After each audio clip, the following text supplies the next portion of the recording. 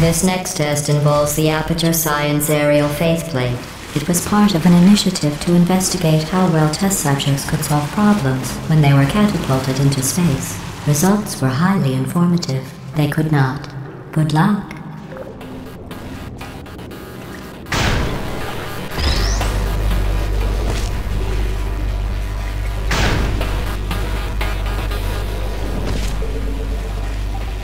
Here's an interesting fact. You're not breathing real air. It's too expensive to pump this far down. We just take carbon dioxide out of a room, freshen it up a little, and pump it back in. So you'll be breathing the same room full of air for the rest of your life. I thought that was interesting.